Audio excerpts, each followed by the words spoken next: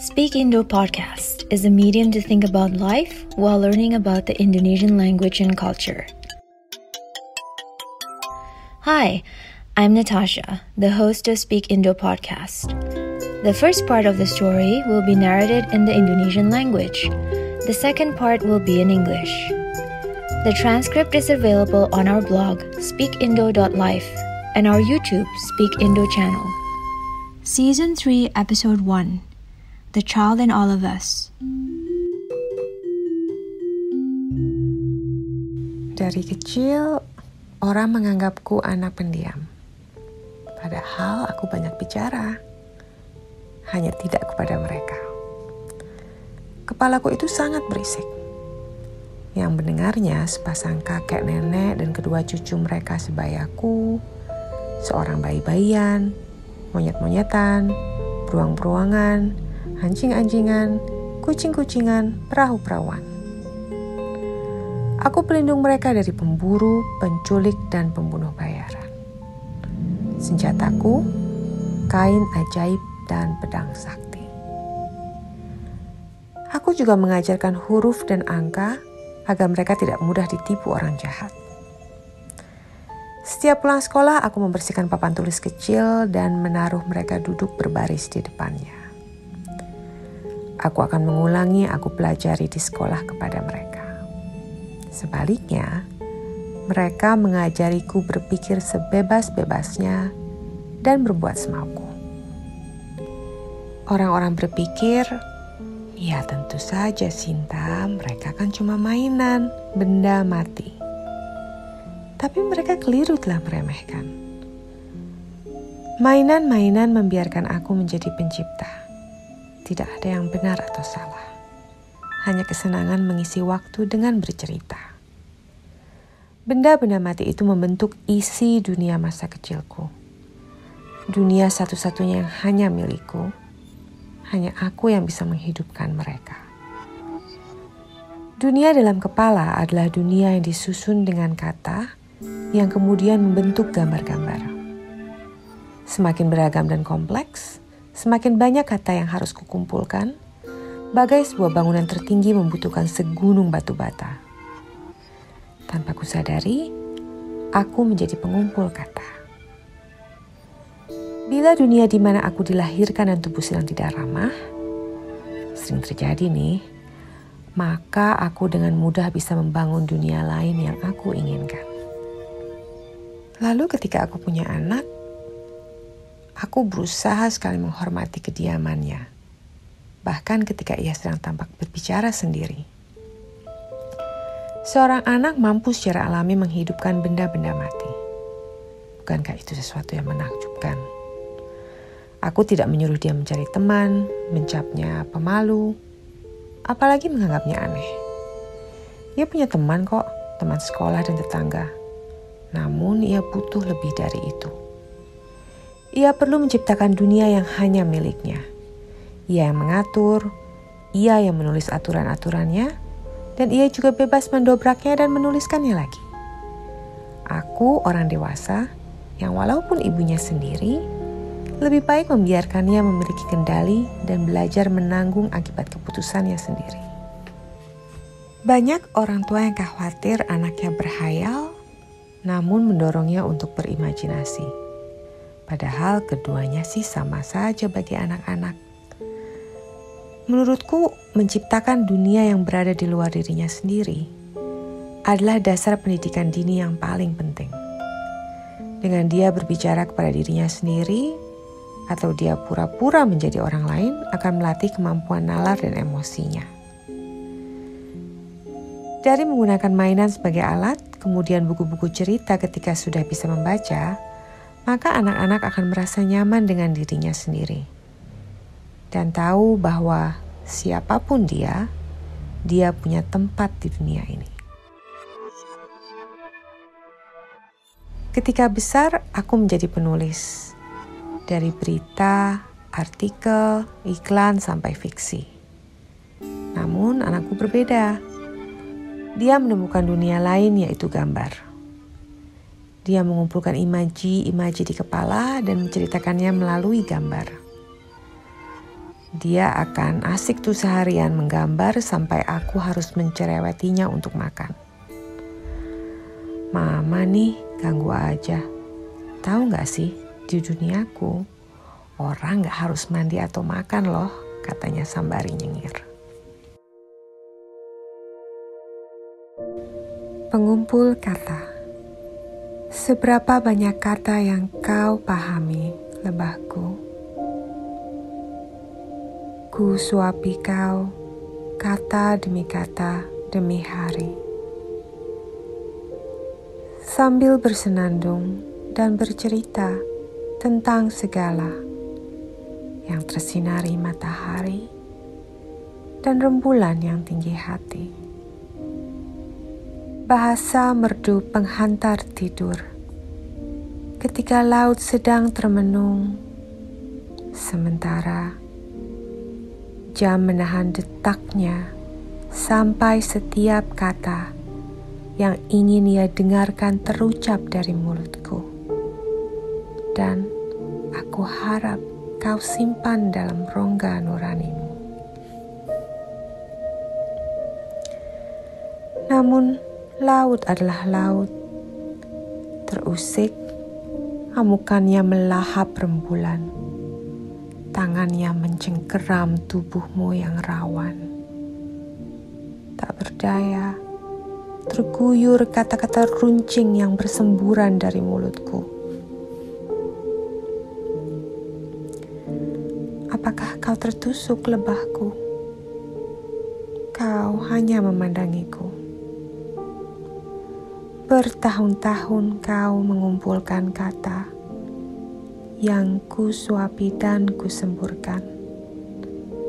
Suatu hari dan berhari-hari seterusnya, lebahku mendengung, menyengat berkali-kali, dan mengurapiku dengan bunga dan madu.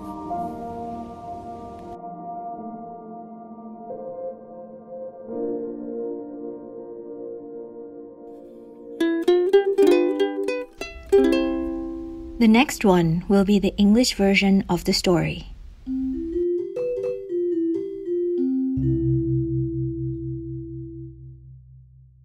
Since Sinta was little, everyone saw her as a quiet kid, while in reality, she was quite talkative, just not to those people.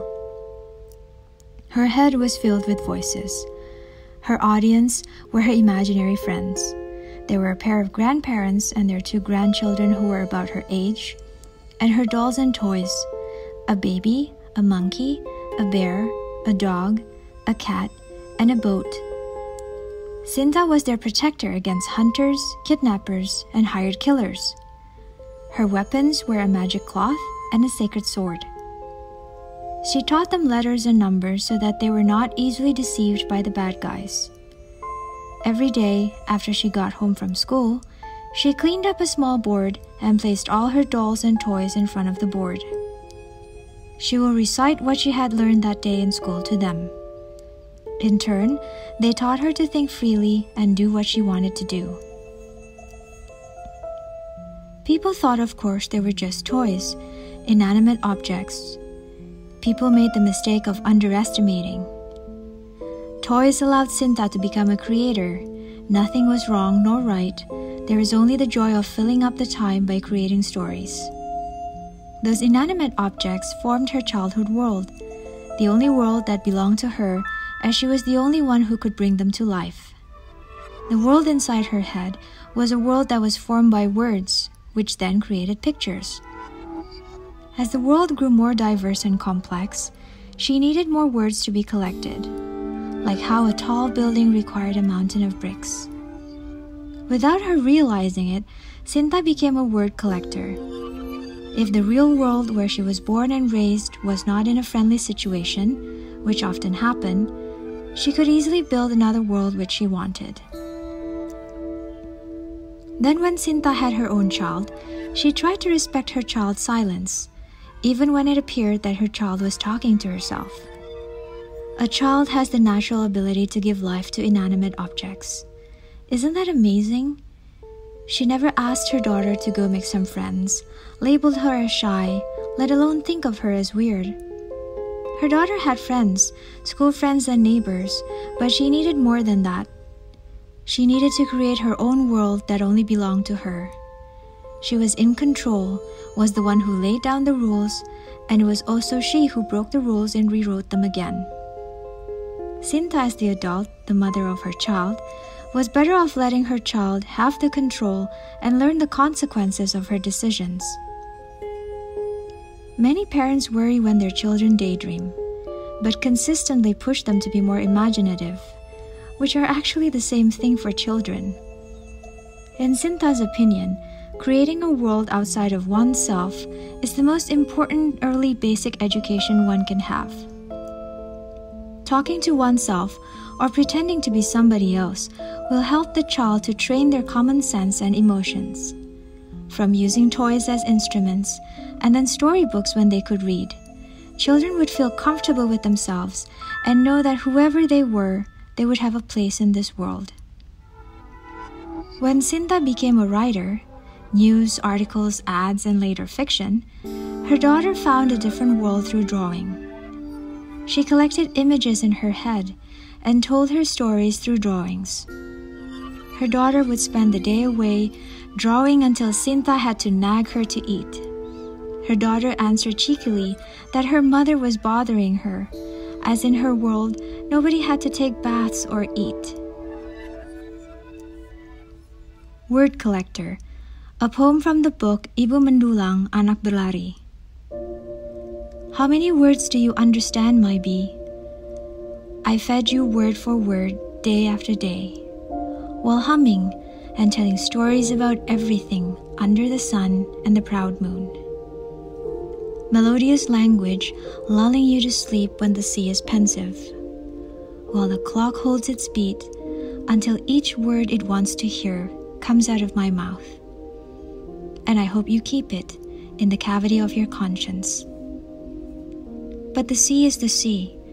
Disturbed, its tantrum devours the moon. Its hands grip your vulnerable body in, helplessly flushed by the spiky words bursting from my mouth. Are you stung, my bee? You only look at me. For years you have collected words, which I feel and burst out. One day and every day after, my bee buzzes, stings many times, and anoints me with flowers and honey.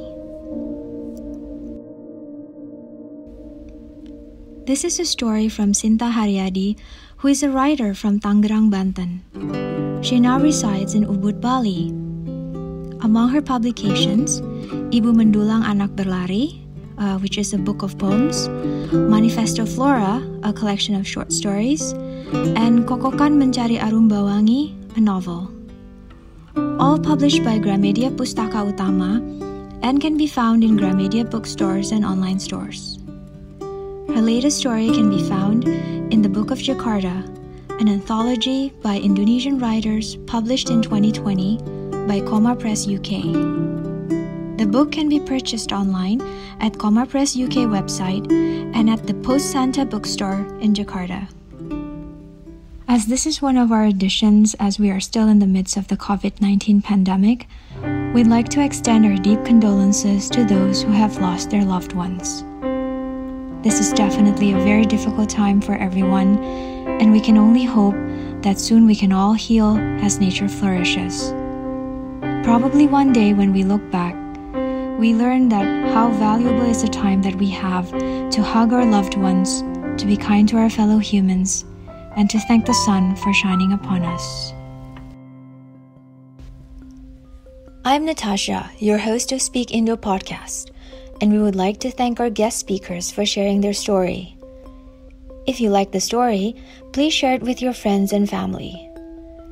The transcript of the story is available at our blog speakindo.life and our YouTube Speak Indo channel. You can subscribe to our channel so that you won't miss any upcoming episodes. Thank you for listening and let's share positivity.